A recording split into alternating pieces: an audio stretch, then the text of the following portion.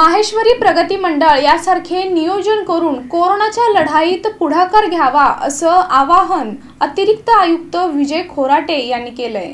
सोलापूर शहरात कोरोनाच्या दुसऱ्या लाटेमध्ये कोरोनाचा प्रादुर्भाव दिवसेंदिवस वाढत आहे.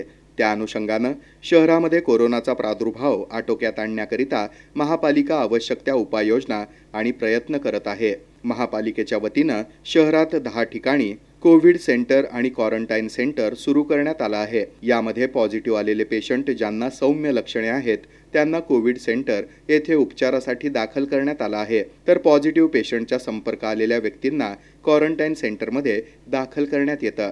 कोविड केअर सेंटर आणि क्वारंटाईन सेंटरमध्ये एकूण दोन हजार सहाशे अठ्ठ्याऐंशी बेडची व्यवस्था करण्यात आली असून यामध्ये नऊशे पंचवीस पेशंट उपचार घेत आहेत आणि सतराशे त्रेसष्ट बेड हे रिकामे आहेत. कोरोनासारख्या महामारीवर नियंत्रण मिळवण्यासाठी महापालिकेला लोकसहभाग आवश्यक आहे.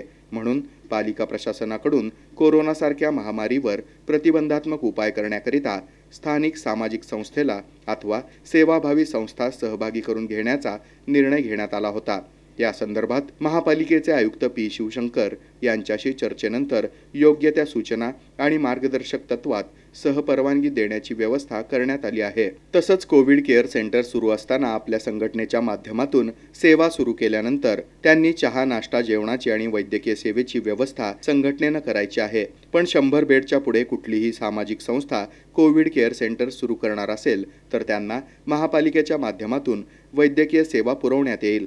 सोलापूर शहरामध्ये माहेश्वरी प्रगती मंडळ या संस्थेनं स्वतः कोविड सेंटर सुरू करून त्या ठिकाणी रुग्णांना चहा नाश्ता जेवण तसंच वैद्यकीय अधिकारी यांच्या समवेत संस्थेच्या वतीनं सेवा करत आहेत. तरी इतर संस्थांनीही माहेश्वरी प्रगती मंडळ यांनी केलेल्या योजनेप्रमाणे नियोजन करावं. यामुळं महापालिकेला सहकार्य मिळेल अशी माहिती अतिरिक्त आयुक्त विजय खोराटे यांनी दिली.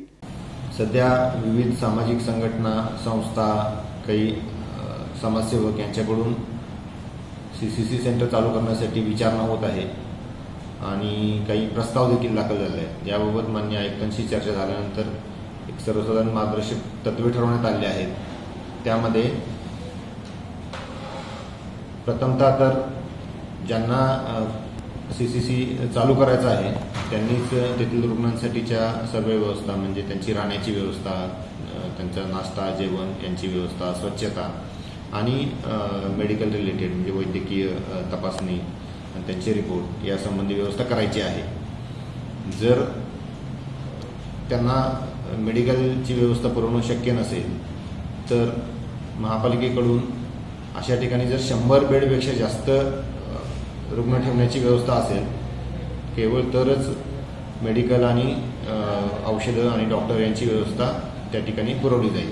शंभर बेडपेक्षा जर कमी रुग्ण त्या ठिकाणी असतील तर पंचवीस तीस पन्नास लोकांसाठी तीन शिफ्टमध्ये मेडिकल तीन शिफ्टमध्ये देणं हे महापालिकेला सध्या परवडण्यासारखं नाही. कारण ऑलरेडी बऱ्याच ठिकाणी महापालिकेतर्फे ही सेवा देणं सुरू आहे आणि अपुऱ्या स्टाफमुळे हे शक्य होत नाही.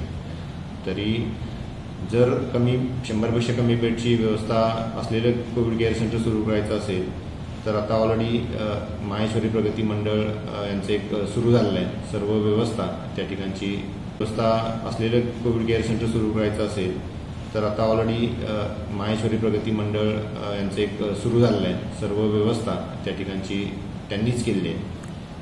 डॉक्टर असतील मेडिकल असेल नाश्ता जेवण स्वच्छता या सर्व व्यवस्था त्यांनी केल्या आहेत. या पद्धतीनं जर सर्व व्यवस्था करून कोविड केअर सेंटर शंभरपेक्षा कमी क्षमतेच करायचं असेल तर कुणी त्या बाबतीत प्रस्ताव दाखल करून महापालिका त्यांना परवानगी देईल. आणि शंभरपेक्षा जास्त असेल तर मेडिकल व्यवस्था देण्यासंबंधी महापालिकेकडून विचार केला